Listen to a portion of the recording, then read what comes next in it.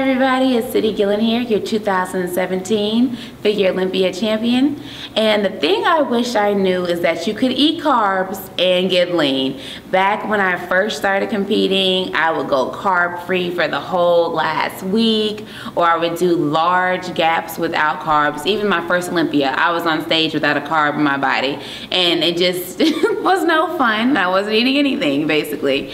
But I think as I grew and as I grew as an athlete, I learned that as long as you're eating properly and you you've planned ahead of time, you're able to eat carbs continuously through your process and have an overall healthy prep. And the healthier your prep is, the longer you can stay in your sport and the longer you can do the sport that you love so much.